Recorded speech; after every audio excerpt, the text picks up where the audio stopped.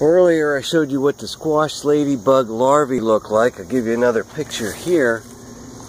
And you can see it looks like a spiny, ugly, although really rather soft kind of creature. Okay, and then it looks like it's right next to an adult form. Oh, that is really cool. That's a bonus right there.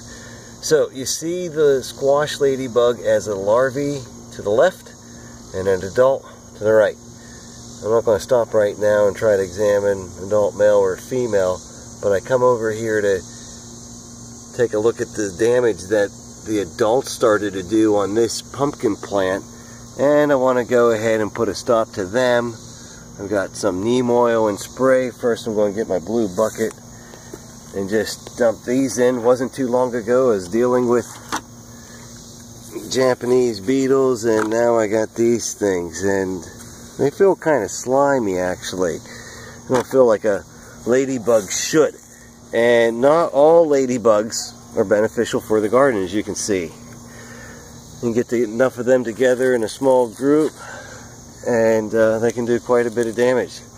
They seem to claim their own leaf, one per one individual squash ladybug per leaf here. Oh, okay, I stand corrected. We got two on this one.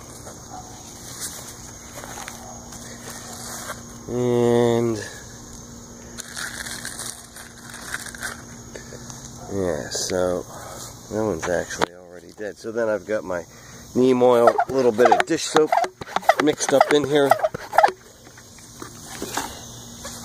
Now check underneath these leaves too for the larvae.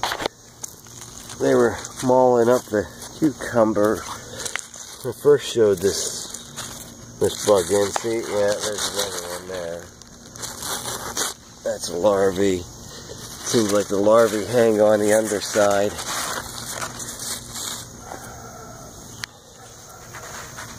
And I just go ahead and spray the leaves down like that. Help this pumpkin survive a bit because over here, you see how big this pumpkin plant is too. That's a bottom piece. Over here we've got one pumpkin, still seems a bit immature. And in here somewhere there's a second pumpkin, I know it. Yeah, right down in here. That's pretty cool because this is growing completely by accident. Pumpkin must have um, initially come from the compost bin. That's all I can figure. I'm going to check underneath the leaves of the edamame plants too. Lady squash bug was hurting them pretty bad on the other side. I should stake this plant up a little bit like that. Okay, so you see why we're doing that. It's one, not one thing, it's another.